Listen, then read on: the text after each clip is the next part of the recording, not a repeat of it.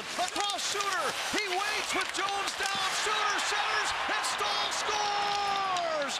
What a play by Suter.